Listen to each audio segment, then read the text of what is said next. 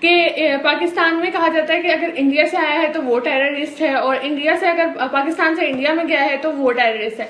मतलब क्या ये दोनों स्टेट्स एक दूसरे के लिए टेररिस्ट है या अपने लिए खुद टेररिस्ट है? My question is this hello guys this is Mohan from Pakistani react guys this is me Aqsam Malik once again on Pakistani react आजकल बहुत सारी मूवीज़ बन रही है पाकिस्तान और इंडिया के रिलेशनशिप पे। एक और मूवी आई है जिसका नाम है लश्तम पश्तम आज उस पे लेके आए हम पाकिस्तानी रिएक्शन देखते हैं इस मूवी में क्या है। बिल्कुल इसका ट्रेलर हमें क्या बता रहा है ये देखते हैं आज और ये बेसिकली मूवी है ओम पुरी की। तो मूव करते हैं अपने ट्रेलर की तरफ़ इससे पहले कि मूव करें please guys don't forget to subscribe our channel if you already a subscriber of our channel then don't forget to press the bell icon so you can get our latest videos and updates. ये ओमपुरी की I think last movie होगी। हाँ may be Mohan भाई क्योंकि इसके बाद जो सुनने में आया था ओमपुरी का फिर इंतकाल हो गया था लास्ट ईयर और अब ही रिलीज़ हो रही है Lashtam Pashtam soon very soon तो देखते हैं इसका trailer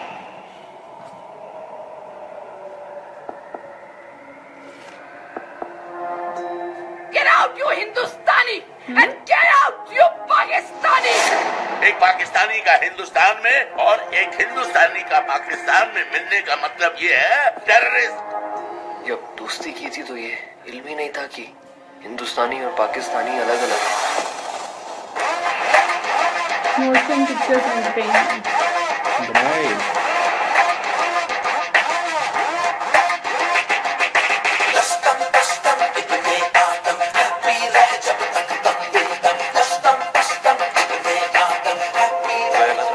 किसी को दिल से चाहा वो मुझे छोड़कर चला गया।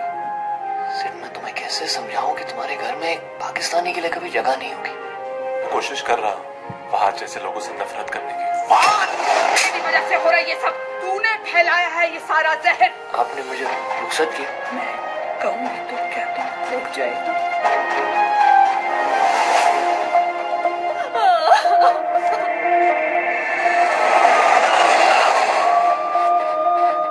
जनाब आपका वीज़ा इस्लामाबाद का है। आप लाहौर एंटर नहीं कर सकते। लेकिन मेरा इस्लामाबाद पहुँचना बहुत ज़रूरी है। आप मुझे इस्लामाबाद पहुँचा देंगे? यहाँ आपने कहा ना ज़रूरी है तो ज़रूरत के आगे किसका ज़ोर चला है?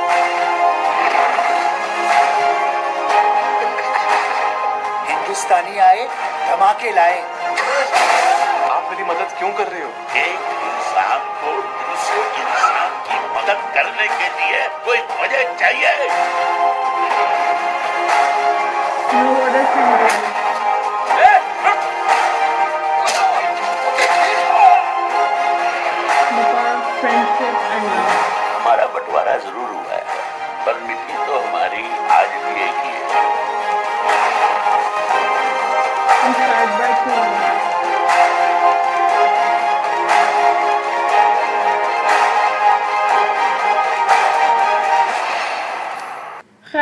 यहाँ पे ओमपुरी का डायलॉग बहुत बेस्ट लगा कि हम लोग हैं तो अलग अलग लेकिन मट्टी तो हमारी एक ही है। इस बात से सबूत ये ज़ाहिर होता है कि ओमपुरी ऑब्वियसली वो काफ़ी एज थे और मेरे ख्याल में जब ये इंडिपेंडेंस था तब ओमपुरी होंगे। तो वो इस चीज़ को बहुत अच्छे से और उनकी ना एक्टिंग में ये चीज़ नज़र आती है कि हमारी मट्टी तो एक ही है, चाहे हम जितना मर्ज़ी इंडियन पाकिस्तानी कर लें।